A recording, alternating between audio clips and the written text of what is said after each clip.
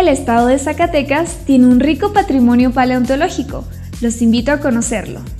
Este día tenemos aquí a Pablo, estudiante de la Unidad Académica de Biología, y él nos va a platicar acerca de los proyectos que ha realizado en su institución, en la unidad académica, y tienes uno muy interesante de paleontología. Platícanos de qué se trata este proyecto. Híjole, bueno, pues es un tema muy interesante. Zacatecas es un estado paleontológicamente hablando muy rico, entonces eh, hay mucho que explotar, pero lamentablemente no se le da esta importancia, no se le da este apoyo, ¿no?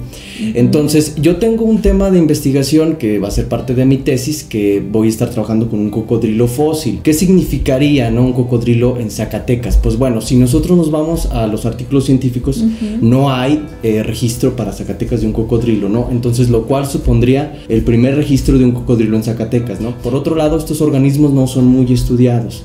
Entonces, también aportaría a la, la parte de su biogeografía, al papel que ha jugado México en la dispersión de estos organismos, ¿no? Entonces, hay cosas muy interesantes. Eh, está la tesis de otro de mis compañeros, José Antonio Holanda. Este, él está, él descubrió huellas de, camellos en el estado, en el municipio de, de, Montescobedo. Tuve la oportunidad de ir y, bueno, en, colaboración con el maestro Rubén eh, Armando, un gran paleontólogo con el que tengo la oportunidad de trabajar. Pues bueno, fuimos eh, los tres y, fuimos a hacer este trabajo de campo, ¿no? Eso, es un área muy interesante. Llegan a, a ese descubrimiento de Montescobedo. Ajá. Ah, eh, bueno, pues el chico, mi compañero, es muy fan de salir también a, a, curiosear y bueno, pues él dio con este descubrimiento cerca de un lugar que es muy visitado por turistas, eh, Salto Blanco, Salto Blanco en, en Montescobedo. Entonces eh, le da el reporte a mi maestro y pues nos lanzamos, ¿no? Básicamente él es experto en huellas fósiles, entonces pues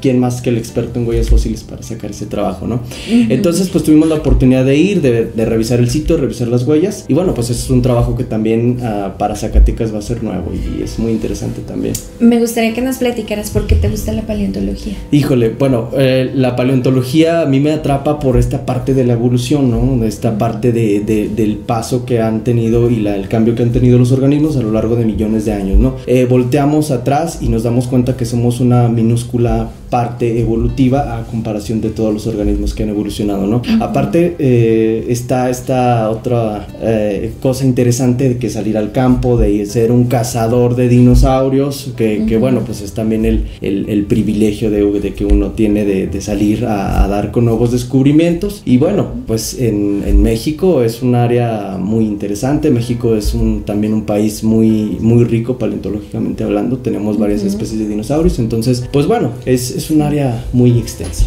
la verdad.